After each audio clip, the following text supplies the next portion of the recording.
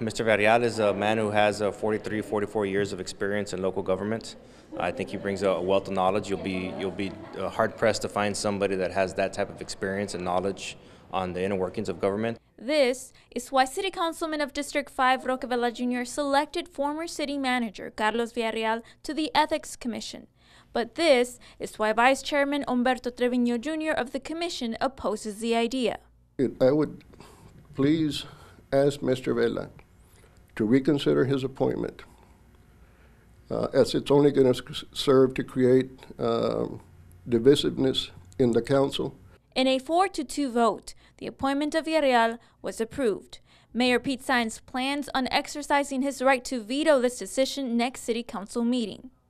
I think in the future, with Mr. Villarreal on board, uh, because of the intimidate, intimidation factor that he has brought uh, in the past, uh, and will, will likely bring up in the future. Vela thinks Villarreal's addition would help usher change in the commission. Specifically, Vela wants to change the person in charge of bringing up ethics complaints to City Council from the city attorney to a person independent from the city.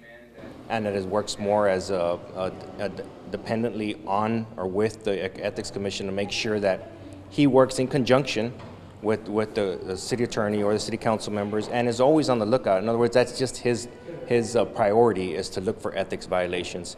Before Villarreal takes his seat, a plea and a veto stand in the way. I'm asking, and for all the members that po- probably supported him, to please reconsider, uh, because there's a lot at stake here. For KGNS, Valerie Gonzalez.